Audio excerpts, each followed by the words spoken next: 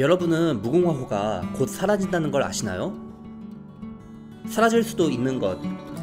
어쩌면 이미 사라진 사람들의 이야기. 저는 그 흔적을 모형으로나마 쫓고 기록합니다. 안녕하세요. 종이 공방의 류양별입니다. 아, 오늘은 이번에 만든 RDC 무궁화호 차량을 갖고 왔습니다. 이거를 왜 만들었는지 만들면서 무슨 일이 있었는지 그런 이야기들을 좀 해보고 싶어요. 그래서 오늘 좀 모형을 갖고 나와봤고요. 일단 이 차량은 RDC 무궁화호예요. RDC가 이제 refurbished diesel car의 약자인데 refurbished라는 명칭에서 볼 수 있는 것처럼 이 차는 CDC 통근 열차라는 차량이 있었는데 그 CDC 통근 열차에서 무궁화호로 승격을 시킨 차량이에요. 그래서 1997년에 이 차량이 나왔고 CDC에서 RDC로의 개조는 2008년에 됐습니다.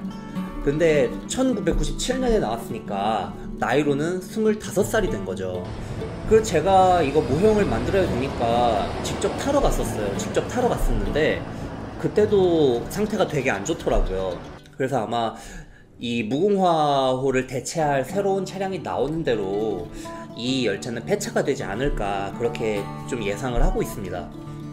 그래서 제가 이거를 만들려고 열차를 타러 갔다 와봤는데 어, 상태가 진짜 안 좋긴 하더라고요. 그러니까 되게 통통거리고 시끄럽고 덜덜덜거리고 확실히 좀 낡았다는 게 많이 느껴졌었습니다. 굳이 이 열차를 모형으로 만든 이유는 일종의 기록을 위해서예요. 곧 폐차가 될 것 같아서 그 전에 이제 모형으로라도 만들어야겠구나 생각을 해서 제작을 하게 됐고요. 제가 이 열차를 타러 갔을 때 그때가 5월이었는데 이 열차에서 보여지는 5월의 경치가 너무 아름답고 이쁜 거예요. 그래서 그런 순간을 내 모형으로 기록하고 또 영상을 통해서 영상을 봐주시는 분들과 함께 같이 보고 싶었어요. 이 모형을 한 반년 정도 준비한 것 같아요. 그래서 만들면서 일단 열차가 있던 안산에 다녀왔어요. 그때는 지난 겨울이었는데 아, 날씨가 너무 추웠고 근데 열차가 그렇게 카페로 개조가 돼서 전시되어 있었다는 게 되게 신기했고 우리가 운행되는 열차에는 가깝게 갈 수가 없잖아요 위험하니까 근데 가깝게 갈 수 있는 열차가 전시가 되어 있어서 그래서 모형을 만들 수 있었던 것 같습니다 만약에 거기 전시가 안 되어 있었으면 모형을 못 만들었을 것 같아요 이 RDC 무궁화호는 지금 남부지방에서만 운행이 되고 있습니다. 그래서 부산을 갔다 왔고 부산에 두 번 다녀왔습니다. 2월에 가서 촬영하고 온 사진들 기반으로 모형을 만들었는데 만들다 보니까 조사해온 자료가 너무 부족해서 그래서 한 번 더 다녀왔어요. 그게 5월이었고 모형을 만들면서 한 4년 5년 만에 철도 모형을 다시 만들었어요. 그동안은 버스 모형만 만들었었는데 철도 모형을 너무 오랜만에 만들어 가지고 익숙하지가 않았어요. 철도가 버스보다 훨씬 길거든요. 이 길이도 익숙하지가 않았고 그 익숙하지 않다는 게 힘들었던 것 같아요. 이 감을 잃지 않기 위해서라도 이제는 가끔 철도 모형을 만들어야겠구나 싶은 생각이 들었고요. 일단은 모형 도면을 만들면서 하부 기기 만드는 게 제일 힘들었어요. 하부 기기에 대한 정보가 없기도 하고 제가 철도 업계 쪽 종사자도 아니다 보니까 철도에 있는 어떤 기계 장치가 어떤 역할을 하고 있는지 그런 걸 따져가면서 만드는 게 제일 힘들더라고요. RGC 무궁화호는 좌석이 52인승입니다. 52석인데 만들어야 하는 의자는 총 26개였어요. 하나 만들 때 2인승 의자를 같이 만드니까 그래서 의자 하나 만드는데 처음에는 30분 넘게 걸렸고 그래도 손에 좀 익으니까 의자 하나 만드는데 한 10분 걸리더라고요. 그래도 만들어야 되는 게 의자가 워낙 많다 보니까 한 일주일 동안 의자만 만들었죠. 의자 만드는 게 제일 힘든데 힘든 만큼 또 제일 많은 성취감을 주는 게 의자이기도 해요. 왜냐면은 기차는 사람이 타는 거니까 의자를 붙였을 때 이제야 좀 실제 기차랑 비슷한 느낌이 나거든요. 아, 이제 좀 실제랑 비슷해지는구나 싶을 때 제일 뿌듯하죠. 그러니까 제가 이제 실제 차를 타러 가서 촬영해온 사진들을 기반으로 그거를 이제 다시 다 디지털 프로그램으로 만드는 과정을 거쳐요. 시간이 오래 걸리고 진짜 지루하고 이거를 만들기 위해서 도면을 만드는데도 한 한 달 걸렸거든요. 사실은 가끔은 그런 생각도 들어요. 아, 이거 알아주는 사람 아무도 없는데 이거를 왜 하고 있을까 하는 생각도 사실은 좀 종종 들기도 해요. 근데 저의 방식으로 이 현재를 기록한다는 사명감이 있어요. 10년만 지나도 역사가 되지 않을까요? 저는 그렇게 믿고 있습니다. 그리고 이거 뭐 당연히 종이고요. 제가 종이 아니냐는 질문을 되게 많이 받는데 물을 뿌려볼 수도 없고 이거 코팅 용지예요. 어느 정도 코팅이 돼 있는 용지를 출력해서 만드는 거고요. 그래서 분무기로 이제 물 뿌리는 거 정도는 버티거든요. 뭐 물을 뿌려보라면 뿌려볼 수 있는데 그건 아닌 것 같고. 근데 이제 코팅 용지니까 비싸요. A4 용지 한 장에 3,000원 하거든요. 그리고 3,000원짜리를 20장 넘게 뽑으니까 사실 하나 만들 때마다 금액이 꽤 나가는 편이긴 합니다. 이거 만드는 데는 한 반년 걸렸습니다.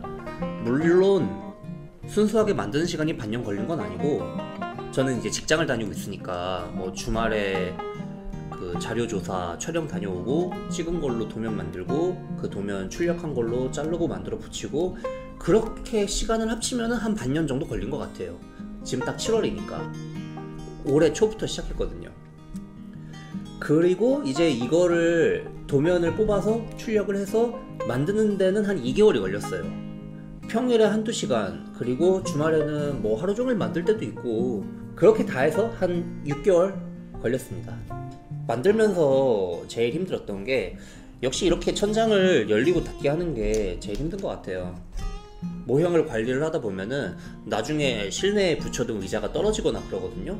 이렇게 열고 닫히게 하면은 그런 게 떨어졌을 때 바로 붙일 수가 있잖아요. 그러니까 관리에 유리해가지고 이렇게 천장을 열고 닫을 수 있게 만드는데, 근데 이게 단차가 생기니까 아무래도 좀 깔끔하진 않죠. 그리고 이 철길도 힘들었죠. 철길은 제가 이런 방식으로 처음 만들어 봤거든요. 철길은 어떻게 만들었냐면 돌 자갈을 사서 그거를 목공풀에 비벼서 버무린 다음에 그걸 이제 하나씩 붙였어요. 그래서 이런 식으로 철길을 처음 만들어 봐서 철길이 제일 힘들었고요. 그래도 얼추 생각한 대로 나왔습니다. 저희 집에서는 아직도 자갈이 굴러다녀요. 계속 자갈이 굴러 나와서 만든 지 좀 됐는데도 아 청소할 때 아주 힘듭니다. 모형에서 마음에 드는 거는 곡선 곡선 처리가 제일 마음에 드는 것 같아요.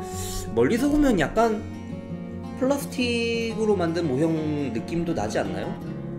그래서 여기 곡선 처리를 하느라 진짜 힘들었어요. 곡선을 어떻게 처리하냐면 일단 한번 깎은 다음에 사포로 계속 갈거든요. 일단 거친 사포로 한번 갈고 그 다음에 이제 고운 사포로 한번 정리를 하는데 진짜 사포를 얼마나 갈아댔는지 모르겠어요. 하지만 결과물이 마음에 드니까 그런 고생은 할만하죠. 자 여기 두 개의 철도 모형이 있습니다.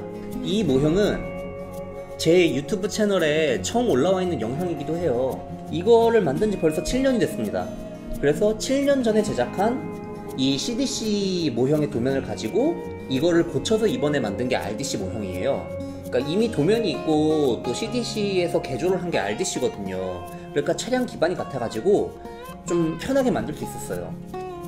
그래서 7년 전에 이거 만들 때는 일일이 손으로 잘라 만들었고 또 일반 사무용 프린터로 출력을 해서 만들었거든요. 그래서 만드는데도 오래 걸렸고 지금은 커팅기를 쓰니까 시간이 좀 덜 걸리는데 그래서 7년이 지나니까 이렇게 색이 완전 바래버렸습니다. 이래서 코팅 용지를 출력을 해가지고 따로 쓰는 거예요. 코팅 용지는 시간이 지나도 색이 안 바래거든요. 어떻게 보면은 이번 모형은 그러니까 7년 전의 모형을 지금 기술력으로 다시 만들어 보면 어떨까 하는 생각에서 시작한 부분도 있어요. 확실히 부끄럽긴 하지만은 제가 봐도 실력이 많이 늘긴 했습니다. 청량역 이야기 좀 해볼까요? 청량역은 경주에 있는 간이역이에요. 동해남부선에 있고 1967년에 생겼고 2007년부터 열차가 안 서요. 그러니까 저는 역이라고 하면 철도역이라고 하면 건물도 있고 거기서 일하시는 분들도 있고 철도역들은 되게 크잖아요. 열차가 써야 되니까. 그런 줄만 알았는데 청량역은 지붕밖에 없거든요. 아, 이렇게 단촐한 게 역이라니? 그게 되게 신기했던 것 같아요. 너무 인상 깊었고. 근데 청량역을 처음에 어떻게 알았지? 저 어릴 때부터 철도 쪽 좋아하긴 했거든요 근데 어떻게 알았는지 기억도 안 나요 2007년부터 열차가 안 섰으니까 이제 15년 동안 열차가 안 서는 거거든요. 근데 왜 자꾸 감정이 입이 되는지 모르겠어요. 좀 많이 외롭지 않았을까 싶은 생각도 들었고. 또 이제 청량역 자체가 동해남부선이 다 폐선이 됐거든요. 청량역도 폐역이 됐고. 이, 이제 정말 언제 철거를 해도 이상하지가 않아요. 아직까지 남아있는 게 신기할 정도로 1967년에 만들어진 역이고 저는 나름의 보존 가치가 있다고 생각해요. 그래서 사람들이 좀 더 관심을 가져줬으면 좋겠는데 그게 좀 아쉽고요. 또 15년 동안 열차가 서지 않던 간이역이고 이제는 열차가 지나다니지도 않아요. 폐선이 됐기 때문에 아, 그 전에 열차를 한 번만 더 세워볼 수 있었다면 하는 그런 아쉬움이 있었어요. 그래서 모형을 완성한 날에 청량역에 가서 이 모형을 두고 영상을 촬영을 하게 됐고요. 가는 날이 장날이라고 그날 비가 너무 왔어요. 그래서 모형이 습기를 먹어버리는 바람에 그 습기를 다시 빼느라고 좀 힘들었고 부품 몇몇 개는 습기를 너무 먹어버려가지고 좀 다른 걸로 다시 바꾸고 그랬습니다. 그래서 원래는 청량역도 좀 같이 모형으로 만들고 싶었는데 시간이 없어가지고 청량역까지는 못 만들었어요. 그게 좀 너무 아쉽습니다. 그 지금까지 이번에 제작한 RDC 모형에 대한 이야기를 좀 해봤습니다. 많은 관심 가져주셔서 감사드리고 더 좋은 모형으로 찾아뵐 수 있도록 하겠습니다. 그리고 구독과 좋아요는 작품 창작에 큰 힘이 됩니다. 유리한별이었습니다. 시청해주셔서 감사합니다.